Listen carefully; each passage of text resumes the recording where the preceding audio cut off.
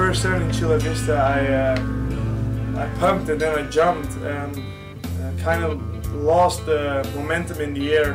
I went over the bar straight into uh, into the next lip, and uh, that was that was it. That was the end of the story for me. Uh, this brace definitely saved my life, which means that my, my, my brace broke, but all the energy was going into my brace and not into my neck, uh, which which means that I didn't break my neck. So. Um, I'm really thankful to everybody at Leatt that uh, they support me in all kind of way that I can, you know, ride and at the same time still thinking about riding right now because if I wasn't wearing the brace I would definitely be sitting here in a wheelchair not sitting in a normal chair.